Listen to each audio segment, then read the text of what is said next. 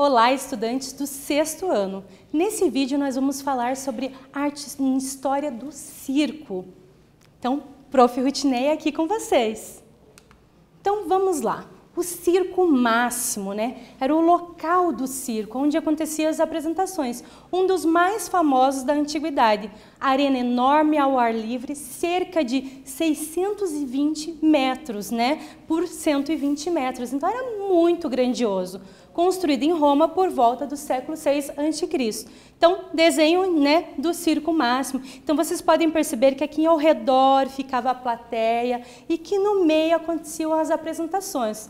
Acrobacia, né, malabarismo com fogo, jogos com animais. Então, aqui um exemplo né, do circo máximo. Ele pegou fogo e esse é um exemplo dos destroços que continuam até hoje e são utilizados para visitação. Aqui um exemplo do Teatro Epidauro, né, na Grécia. Então, cerca de 130 quilômetros de Atenas, né, em, Argólida, construído no século IV a.C. Né? Então, famoso pela acústica. O que, que é isso? A acústica é esse espaço que é propício para o som, né? Então os artistas podem perceber ali na imagem que o espaço é muito grande. O artista ficava aqui, ó, aqui no meio, né? Então a plateia toda ao redor. Então esse espaço, essa acústica tinha que ser muito bom para o som propagar. Ajudava a projeção vocal, ou seja, fazia a voz do artista ir mais longe para chegar até a plateia.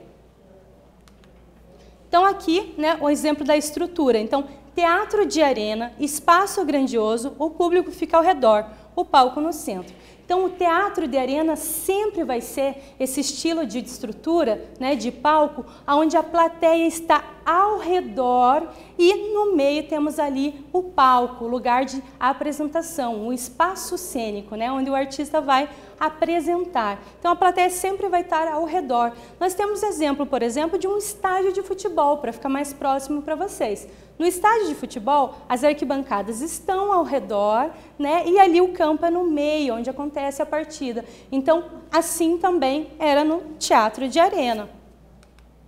O circo itinerante, né? O que, é itinerante? É esse circo que viaja de uma cidade para outra, né? De forma bambembe, tá, tá aqui, daqui a pouco viajou para outra cidade. Então, originalmente, o circo tinha seu próprio lugar, como a gente viu no Circo Máximos, né, em Roma. Então aqui não, aqui passa a ser itinerante, viajar de uma cidade para outra. Isso no século XVIII, tá?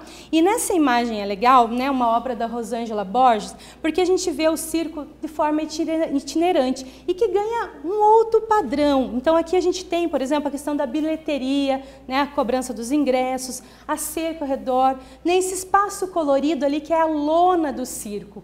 E dentro dessa lona, no meio, a gente tem que é o palco que a gente chama de picadeiro, que é o lugar do palhaço, né? Aonde o palhaço vai se apresentar. Nesse vídeo nós falamos sobre a arte e história do circo. Espero que vocês tenham gostado, né? Até breve.